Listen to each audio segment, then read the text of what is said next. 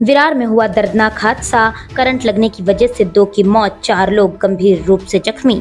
नमस्कार, मैं हूँ शिवानी दुबे और आप देख रहे हैं मेरे प्राप्त जानकारी अनुसार बीती रात विराटपुर के कारगिल नगर से एक दर्दनाक हादसे की खबर सामने आई, जहाँ डॉक्टर बाबा साहेब आम्बेडकर की 132वीं जयंती के अवसर पर यात्रा निकाली गई थी। यह यात्रा 9 बजे शुरू हुई थी और साढ़े दस बजे समाप्त हुई थी। वापसी के दौरान इस यात्रा में एक हाथ गाड़ी थी जो कि लोहे की थी, जिसे कुछ लोग धक्का देकर आगे ले जा रहे थे तो वहीं कुछ लोग इस गाड़ी के ऊपर भी सवार थे।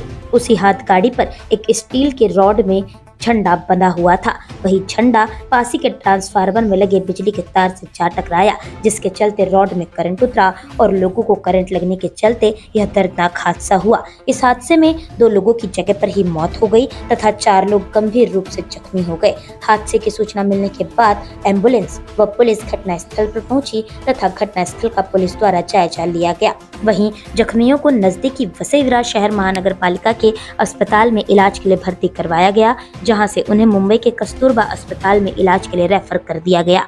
मृतक व्यक्तियों की पहचान 23 वर्षीय सुमित सूद व 30 वर्षीय रुपेश सुरवे के रूप में हुई है। बीती रात हुए इस हादसे के चलते हर कोई सहम चुका है। आइए देखिए इस मामले में घटना स्थल पर उपस्थित पुलिस व लोगों ने हमें क्या कुछ जानकारी दी। ये हमारे कारगिल नगर में से ओम नमः शिवाय सोसाइटी में से ये जुलूस निकला था, एक सौ बत्तीसवीं बाबा साहेब आम्बेडकर जी की जयंती मनाने के लिए सब निकले हुए थे और जब रिटर्न होते वक्त ट्रांसफार्मर के यहाँ पर जो झंडा था, उसमें जो पाइप लगा हुआ था, वो वायर से टच होने की वजह से शॉर्ट शॉर्ट सर्किट हुआ है और शॉर्ट सर्किट की वजह से छः जान जख्मी हुए और छः जान में तीन जान की कंडीशन बहुत क्रिटिकल है।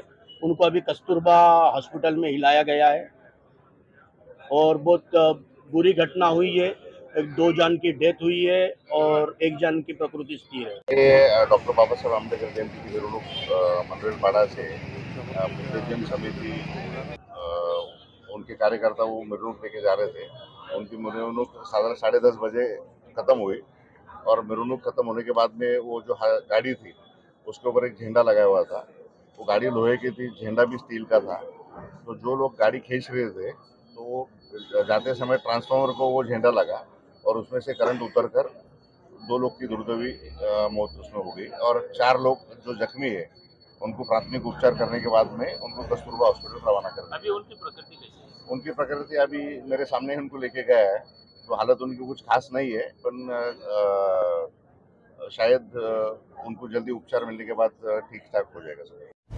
ऐसी ही और खबरें देखने के लिए बने रहे हमारे साथ और सब्सक्राइब करें मिरर ऑफ़ ट्रूथ फेसबुक पर देख रहे हैं तो हमारे पेज को फॉलो करना ना भूलें। वीडियो पसंद आने पर लाइक कमेंट शेयर ज़रूर करें।